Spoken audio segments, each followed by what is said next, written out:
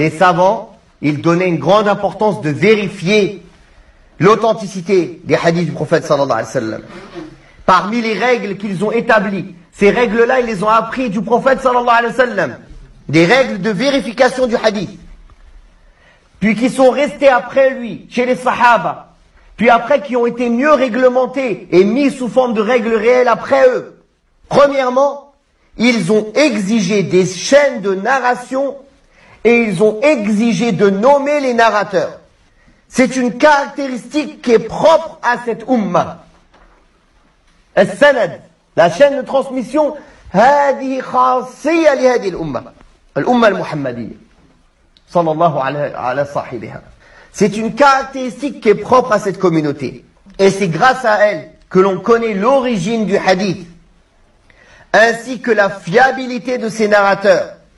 On peut ainsi juger en ayant ces données de l'authenticité ou non du hadith. Abdullah ibn al-Mubarak, rahimahullah, a dit Al-isnadu min ad-din.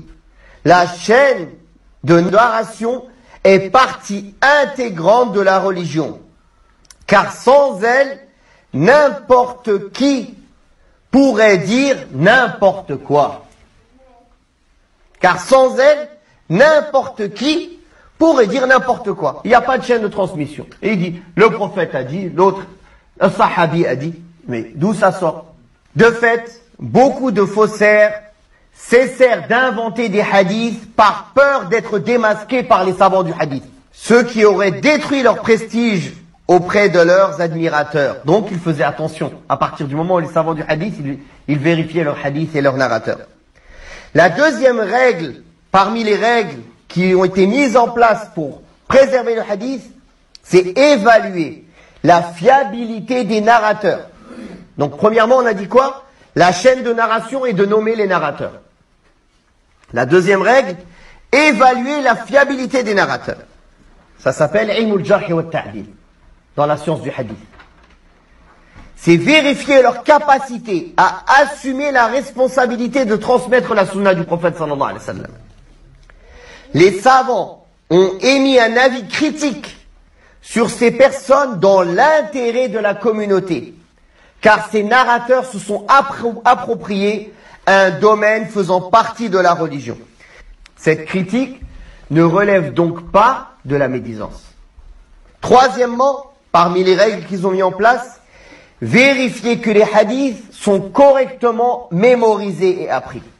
Et les transmettre à ceux qui sont capables d'en faire de même. C'est-à-dire, il va pas le transmettre à quelqu'un qui comprend rien, qui n'a pas de mémorisation, qui, qui, qui pas capable de préserver le hadith. Il choisit parmi les élèves qui est capable de prendre le hadith du prophète sallallahu alayhi wa sallam pour le transmettre. En effet, un savant en hadith ne rapportait un hadith que lorsqu'il le connaissait correctement. D'autre part, il ne le transmettait qu'à des disciples qui méritent de le recevoir et s'abstenait d'en faire part aux faibles d'esprit et à ceux qui sont esclaves de leur passion. Ces règles-là, elles permettent de purifier les hadiths euh, des éléments inventés de toutes pièces et les menteurs furent clairement identifiés et démasqués.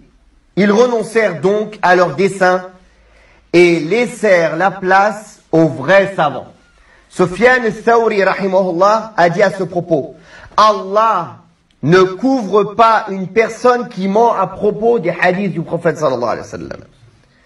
On fit également remarquer à Ibn al-Mubarak un jour que des hadiths avaient été inventés de toutes pièces et il répondit, il y a des savants pour s'en occuper, car Allah a dit, Inna nahnu nazzalna dhikra wa inna lahu lahafidun. En vérité, c'est nous qui avons fait descendre le rappel et c'est nous qui en sommes gardiens.